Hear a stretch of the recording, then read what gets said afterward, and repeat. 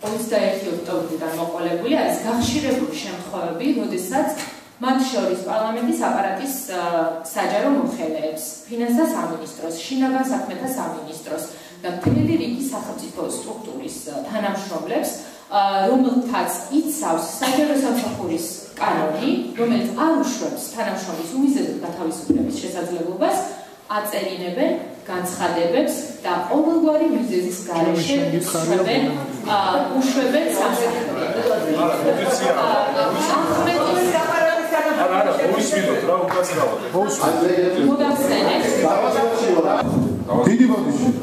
მე შემოვდივარ საკანონმდებლო ინიციატივით.